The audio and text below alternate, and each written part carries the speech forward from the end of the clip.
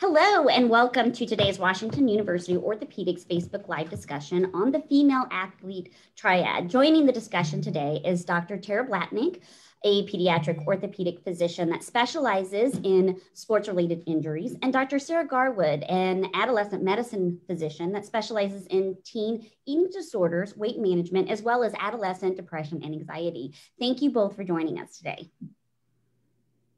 Um, let's go ahead and get started. Um, Dr. Blatnik, would you uh, please just define for us what is the female athlete triad? So the female athlete triad. So I kind of think the history of it's a little bit interesting. So a lot of this started um, in the 70s. So that's when Title IX came about. So tons more females were doing athletic activities at that time. And they noticed that the girls were kind of having some issues with their periods and sort of led them to kind of look into it a little bit more. And so originally the triad was um, sort of three things triad. So we've got amenorrhea, which basically means they weren't having a period. Osteoporosis. So we think of that more in elderly people, but that just means basically issues with bone density. And then disordered eating, or you know what we think of as an eating disorder, was kind of how this whole thing started. Um, with some of the new now that there's new term, terminology that has started to be talked about um, with uh, this. Uh, Dr. Garwood, would you mind uh, giving us some information about the new terminology that's being used?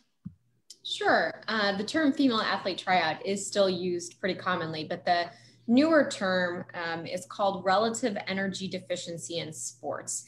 And that really reflects the idea that for whatever amount of exercise or output an athlete is doing, the amount that they're taking in is probably not um, meeting their needs.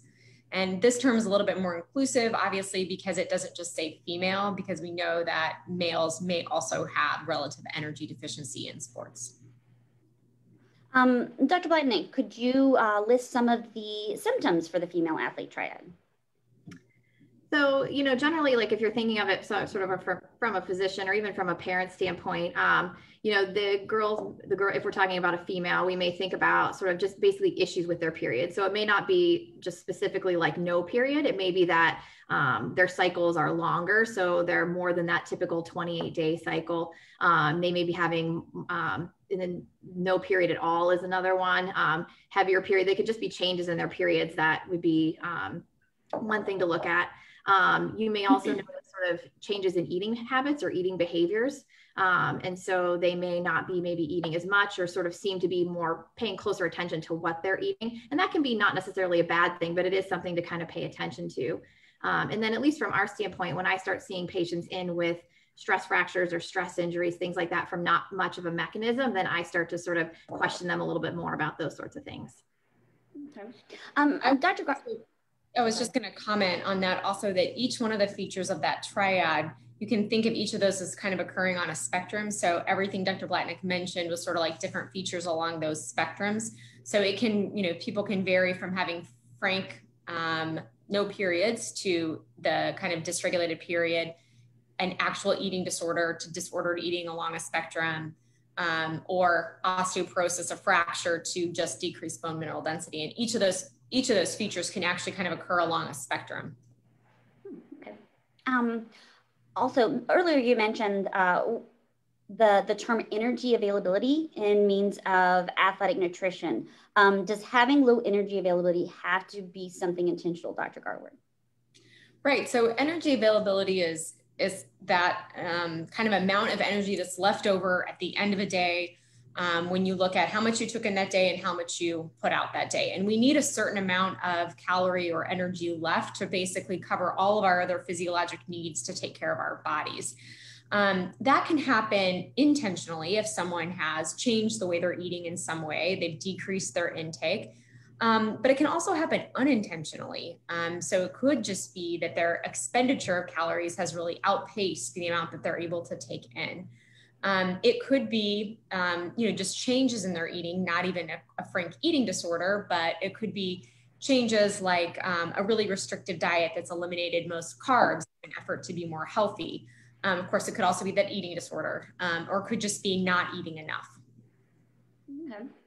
Um, Dr. Blatnik, is there a particular sport where a female athlete, the female athlete triad is more common?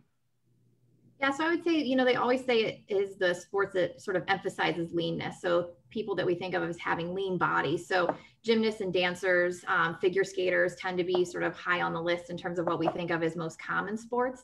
Um, we've seen a lot more female wrestlers lately. Um, so I feel like we've seen it a little bit more in that because there's that you need to meet a certain body weight in order to participate at you know a certain level. And so they're aiming for that body weight which can have an effect um, on their eating and sort of lead to triad type symptoms.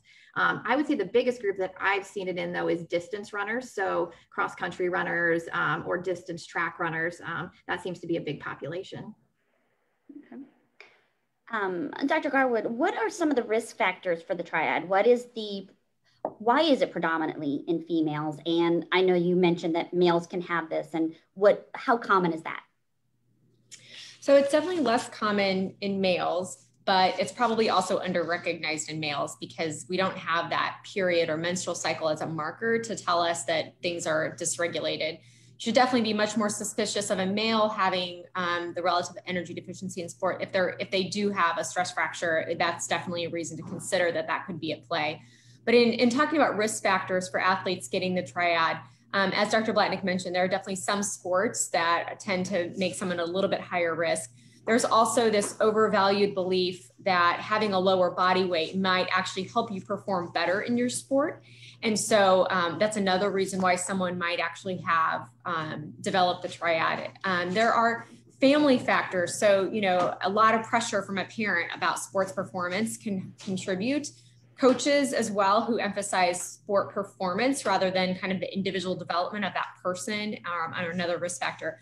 There's also this interesting thing that you know sometimes those temperament traits that make us good athletes also set us up to be more at risk for developing disordered eating. So you know the desirable traits of an athlete being that mental toughness and commitment to training and um, you know the performance despite pain kind of mentality those kinds of traits also occur in people who tend to develop eating disorders. So there are some kind of co-occurrence reasons why when you're a really good athlete, you might also be a little bit more prone to develop those disordered eating patterns.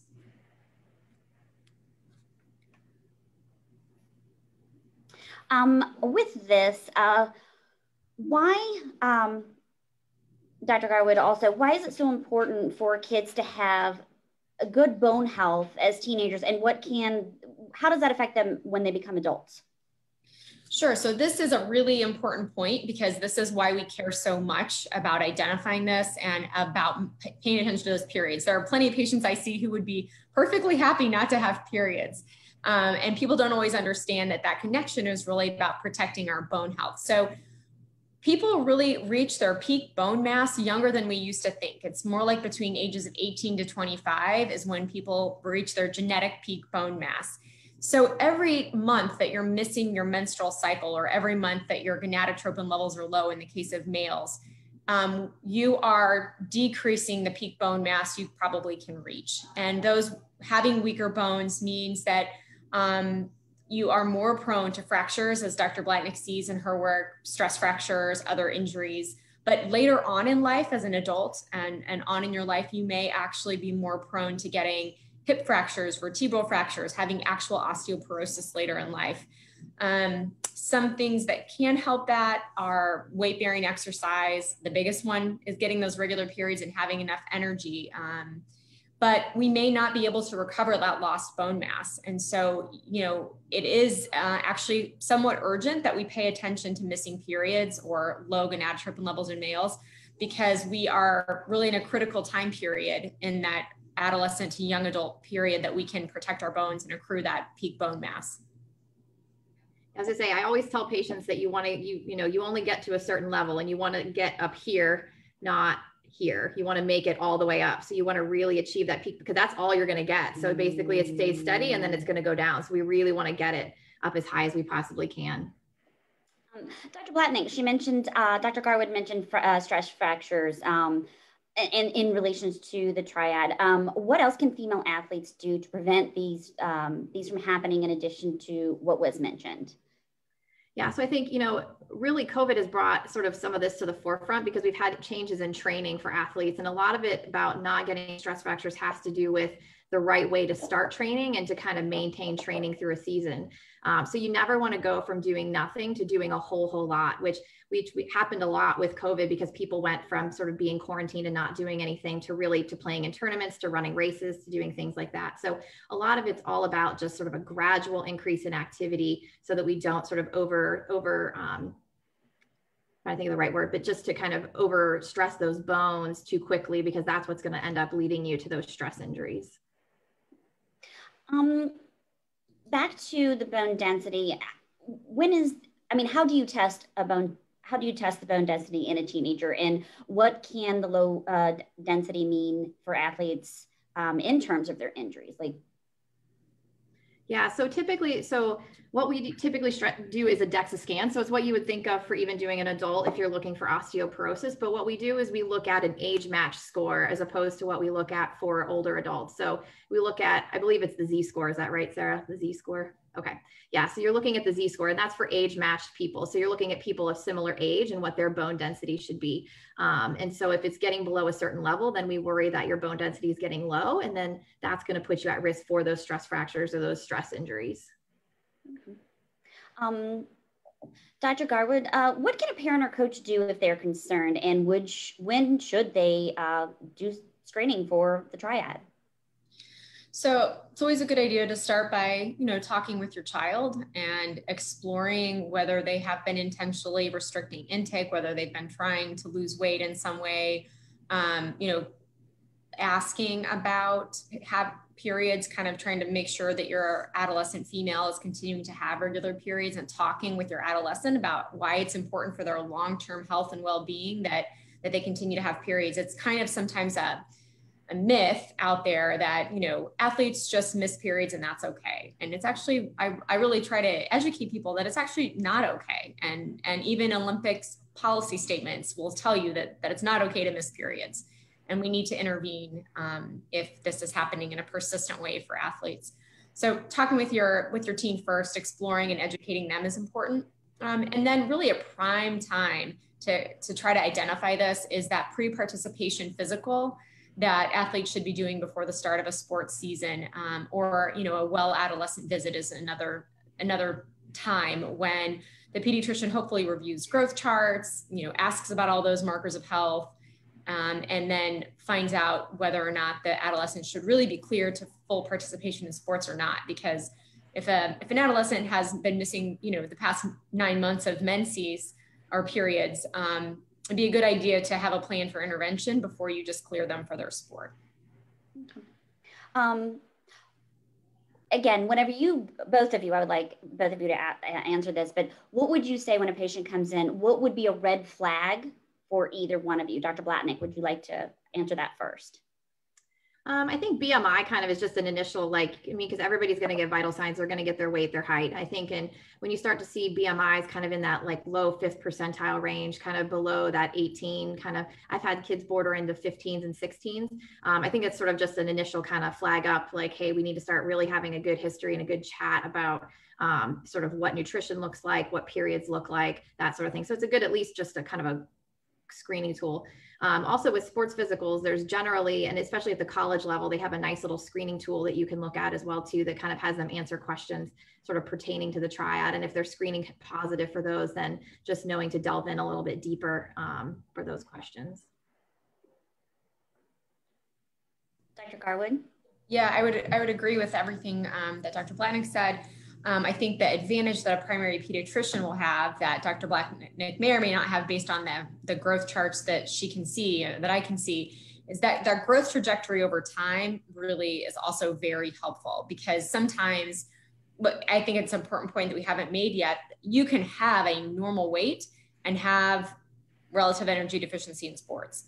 Um, and so it's actually, and, and you can also have just dropped off a curve, but still be within a normal weight range and have that problem. So ha- having growth charts um, and reviewing kind of historically what's gone on for a patient is also super helpful. Um, as subspecialists, we don't always have that, but um, primary pediatricians usually do. And, and that's also very helpful data to be reviewing. Um, and then of course the periods being the really big one. Um, and that's actually a screening question on the physical forms, you know, about in the past 12 months, how many periods have you had? Um, so we really do look at it kind of like a vital sign as an indicator for bone health. Also important to go to your primary care pediatrician if possible for your sports physical because they're going to have all that data and it's you're going to get a much better sort of comprehensive comprehensive exam because they they know you and they know your history and your growth charts and all that sort of stuff. Whereas, you know, a quick one at a you know minute clinic or a drugstore, they're not going to have access to that and they may not delve in as deep. Okay. Um, how is um, once there's been a diagnosis, what is the treatment plan? Dr. Blatnik? I say I may let Dr. Garwood take that sure. one. I mean, I there's a lot of referral stuff that has to happen. I think it's a big team approach for this for sure.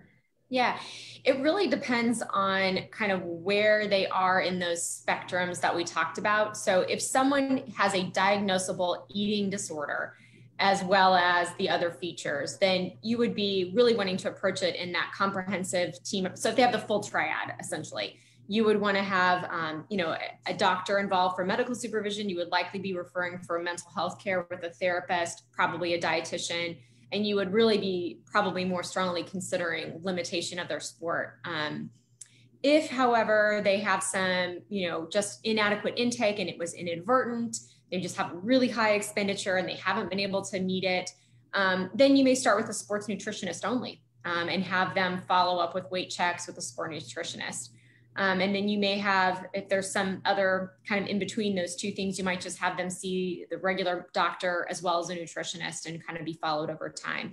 In general, when you are suspicious that relative energy deficiency is the cause of missing periods or menstrual dysfunction, we would say to start with increasing intake every day by about 300 calories a day and consider decreasing their participation in their sports by like 10 to 20 percent there are some really good clinical guidelines out there that take into account all the risk factors.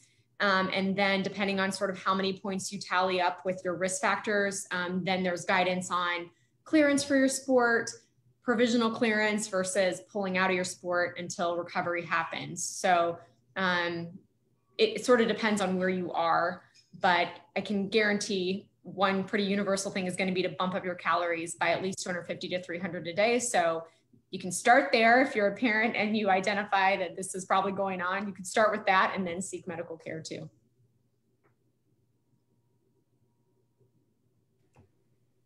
Um, also, along that line, why is this prevention, early diagnosis, and intervention, intervention so critical for these patients?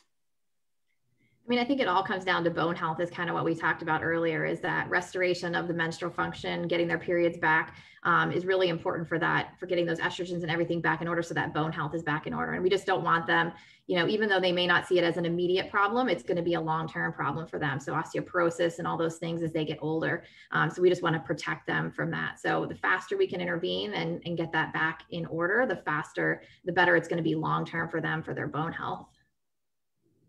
Right. And also, you know, we know that prognosis for eating disorder recovery is better the earlier intervention that you have. And so the longer that we let an eating disorder go on and on, kind of the, the worse prognosis somebody could have.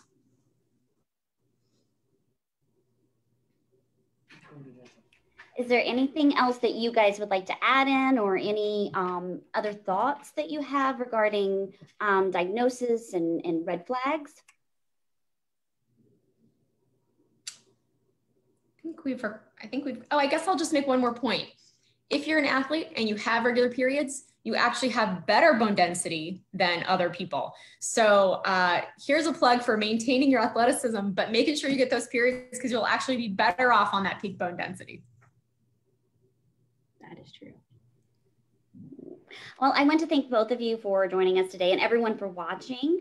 Um, uh, again, thank you so much for taking your time from your busy schedules. I know um, you guys were in the middle of clinic and had to take time out, but really appreciate it. And um, thank everyone for joining us and everyone have a great afternoon. Thank you. Bye. Thanks.